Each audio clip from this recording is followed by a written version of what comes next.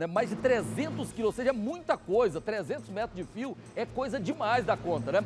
Tenente, boa tarde. Boa tarde, Aloás, boa tarde a todos. Conta pra gente como é que foi essa apreensão, com quem estavam.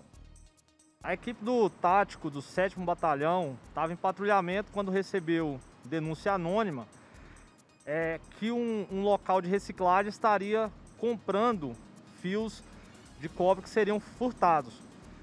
Então decidiram deslocar até essa, essa reciclagem e nas imediações do local abordou um indivíduo com alguns fios de cobre, que inclusive disse aos policiais que iria vender esse, esses fios lá na, na reciclagem.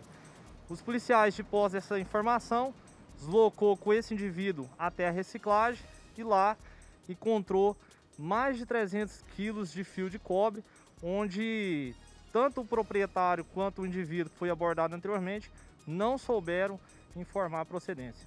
Ou seja, esses fios que já estavam lá na reciclagem, também eles são de origem suspeita, né? Exatamente. Tanto os fios que foram encontrados com o indivíduo abordado, quanto os fios que já estavam na reciclagem, é, são de origem suspeita, tendo visto que o proprietário e o abordado não souberam informar aí aonde tinham conseguido. Agora, e, só, e muitos desses fios aí, é, certamente, é roubados na região ali, né? Sim, nós temos uma incidência aí nos últimos dias de alguns furtos, né, de fio de cobre.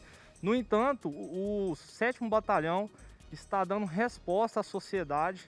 Nós vamos prender todos que estão envolvidos nesse tipo de crime. E um recado, Loares, para quem está atuando nas madrugadas furtando fio de cobre. Nós estamos diuturnamente em patrulhamento e nós vamos prender. A vida desse, desses indivíduos que estão. É, é, é, a vida no crime desses indivíduos que estão realizando esse tipo de crime irá acabar. Eles serão presos, todos eles. Agora, uh, Tenente, só uh, normalmente as pessoas que furtam, que a gente mostra aqui, câmeras de segurança, dão, dá aquela impressão que seriam catadores de materiais recicláveis ou usuários de drogas de rua. Nesse caso, se confirmou essa informação? Sim, muitos dos, dos indivíduos que estão praticando esse, esse delito são de fato catadores né, de materiais recicláveis, inclusive o 7 Batalhão ele tem uma operação específica para abordagem a esses catadores no entanto, nós temos informações também de, de indivíduos em veículos praticando esse, esse delito. Nós já temos as características desses veículos né, e, e de outros indivíduos que possam estar praticando o crime de furto de fio de cobre.